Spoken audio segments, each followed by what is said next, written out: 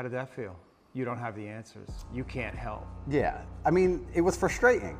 It's very frustrating, and it's the uncertainty that would bother me. I don't think I felt sad very often, but I certainly felt extremely frustrated. Hmm. I would sit there and think, there has to be a way out of this room. Not breakout, but like there must just be some words I can say, someone I can talk to. There must be a way. It's only a door. Like there, I can't just be stuck in this room.